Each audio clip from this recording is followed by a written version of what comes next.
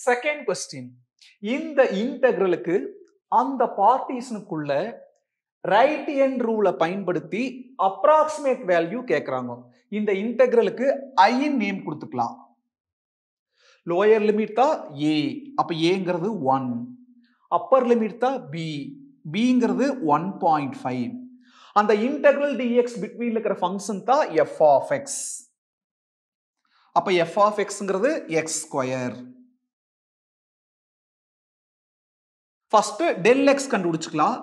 அதுக்கு என்ன formula B minus A by N பிங்கிறது ஒன் பாயிண்ட் ஃபைவ் மைனஸ் ஏங்கிறது ஒன் பை என் இந்த நம்பர் ஆஃப் பார்ட்டிஷன்ஸ் எவ்வளோ one two three four five by five one point ஃபைவ்ல one போனால் zero point five by five fifth டேபிளில் divide பண்ணால் zero point five five all divide பண்ணால் one அப்போ del எக்ஸுங்கிறது zero point one இப்போ நம்ம கம்ஃபர்டபுளுக்காக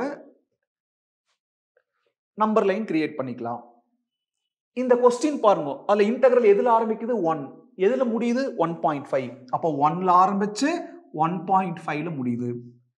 கொடுத்துருக்கிற பார்ட்டிசன்ஸ் அவங்களே கொடுத்துட்டாங்க. One point one one point two one point three one point four one point five ஏற்கனவே இருக்குது லெஃப்ட் ஹேண்ட் ரூலா ரைட் ஹேண்ட் ரூலா ரைட் ஹேண்ட் ரூல் அப்போ இதுதான் ரைட் சைடு ரைட் சைட்லேருந்து மூவ் பண்ணணும்.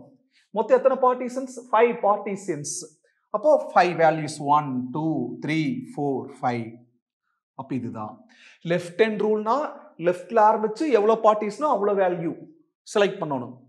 ரைட் ஹேண்ட் ரூல்னா எத்தனை பார்ட்டிஸ்னோ அங்கே ரைட் சைடு கார்னர்லேருந்து செலக்ட் பண்ணி அவ்வளோ வேல்யூஸில் வந்து நிற்கணும் அப்போது இம்மிடியட்டாக I equal to one point ஒன்லேருந்து ஒன் பாயிண்ட் ஃபைவ் வரைக்கும்.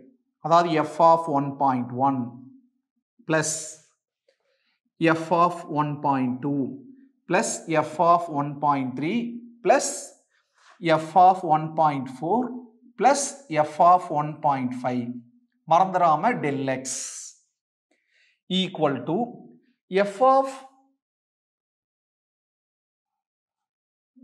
one point one F of எக்ஸ்னா எக்ஸ்க்கு ஒரு square F of one point ஒன்னா ஒன் பாயிண்ட் ஒன்னுக்கு ஒரு square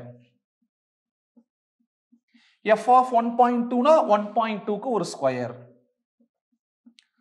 இங்கே ஒன் பாயிண்ட் த்ரீக்கு ஒரு square F of one point ஃபோர்னா one point ஃபோருக்கு ஒரு square F of one point ஃபைவ்னா one point ஃபைவ்க்கு ஒரு ஸ்கொயர் டெல் எக்ஸ் என்ன கண்டுபிடிச்சிக்கிறோம் ஜீரோ பாயிண்ட் ஒன் இங்கே பாருங்க என்ன ஃபங்க்ஷனா அதுக்கு தகுந்த மாதிரி உள்ளக்குள்ள வித்தியாசப்படுது போன சம்ல F of X equal to X அப்போ அந்த உள்ளுக்குள்ள இருக்கிறது அந்த எக்ஸ் மட்டும் எடுத்துடலாம் இங்கே எக்ஸ்க்கு ஒரு ஸ்கொயர் அப்போ ஒன் பாயிண்ட் ஒன்னா one point one square one point ஃபோர்னா one point four ஃபோருக்கு ஒரு ஸ்கொயர் அதுதான் பண்ணிக்கிறோம்.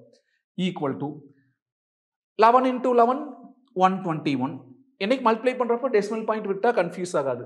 அப்புறம் ஒன் பாயிண்ட் ஒன்ல இன்டூ ஒன் பாயிண்ட் ஒன் தான் அர்த்தம். பாயிண்ட்க்கு அப்புறம் இங்கே ஒரு டிஜிட் அதில் ஒரு டிஜிட் ரெண்டு டிஜிட் தள்ளி பாயிண்ட் வச்சா one point two one plus twelve into twelve one forty four ரெண்டு டிஜிட் தள்ளி பாயிண்ட் வைக்கலாம்.